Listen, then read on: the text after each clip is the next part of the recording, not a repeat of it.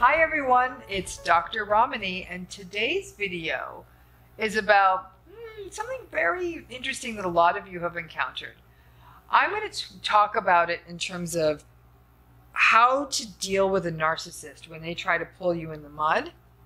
And I'm going to teach you today how to fight fire with grace.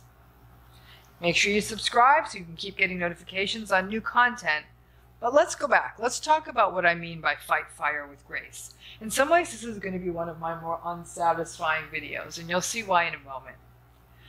Narcissists are better fighters than the rest of us. They really are. They're great at fighting.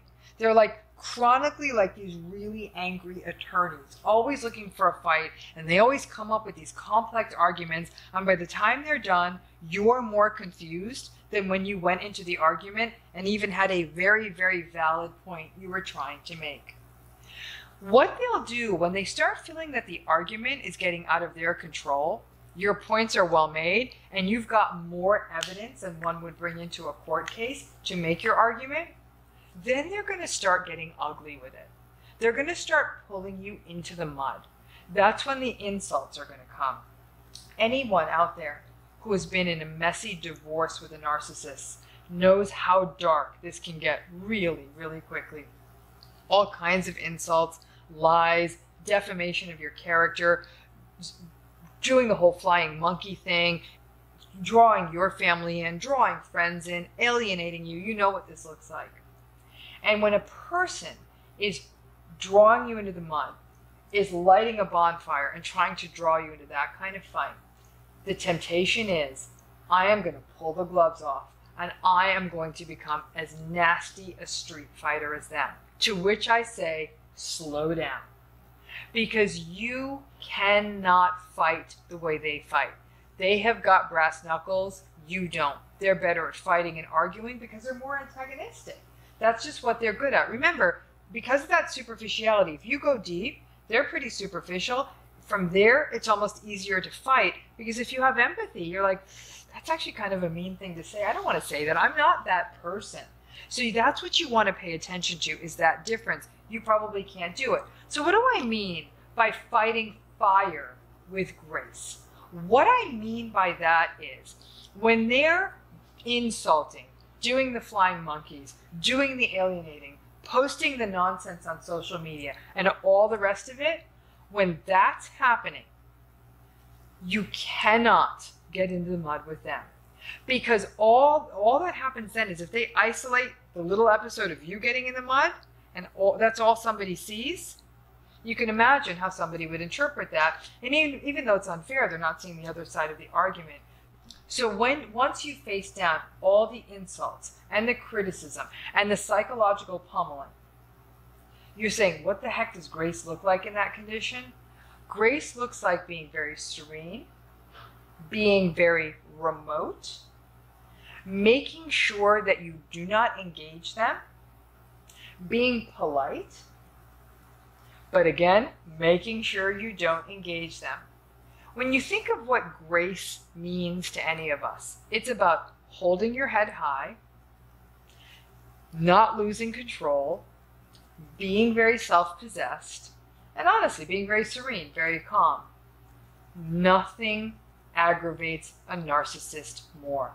Because when you're serene, when you're calm, when you're not spinning around like a rolling dervish, that's when they get even more upset. Because when you start yelling and screaming, that's exactly when they're going to square up and say, What is wrong with you? You are so emotional. Do not give them the satisfaction. Do not give them that satisfaction. You almost got to get into sort of this Jedi mind space where you're like, I am going to stay calm. I'm not giving them the satisfaction. That's what I mean by fighting fire with grace. They are always, always, always going to take the low road. You can guarantee it. If you can keep it together, stay calm, stay serene. But listen, if you're dealing with something legal with them, a divorce is a great example. Make sure you document the hell out of everything.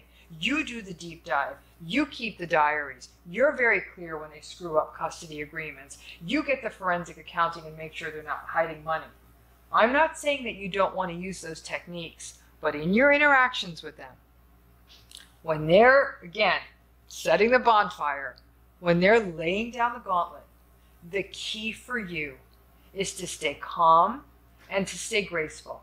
It means avoiding doing things like defending yourself. Lots of people in these situations want to defend themselves and say, I didn't do that and I didn't say that, and look at this, and there's this thing on my recording on my phone, la la la la. No. When they accuse you of something, you calmly just look at them and kind of give them one of those, okay, and walk away. There is nothing more satisfying than a narcissist who's looking for a fight and can't get it. Always remember that.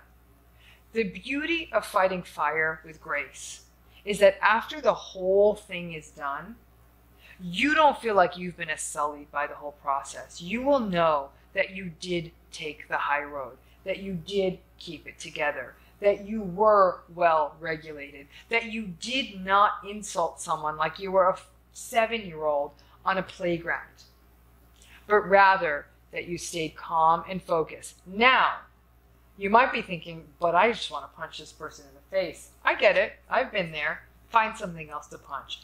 Go to a boxing gym. Go to the gym. Go do something that requires you to kind of get all of that out, but do not let the narcissist see it. And heck, you know what? If you're having that contentious a relationship with a narcissist, you may end up getting into really, really great shape.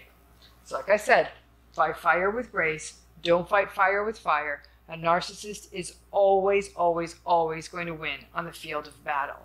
What you need to do is take away the battle, keep it calm, and let them spin and spin and spin around, waiting for the fight that you are never going to give them the satisfaction of.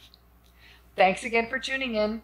Please hit the bell, subscribe. We're growing our community every single day. And again, your comments also help with this. So send us your examples if you ever did fight fire with grace and how that worked out for you, or if you ever kind of wish you did and didn't and realize now we'd all love to learn that lesson. Thanks again.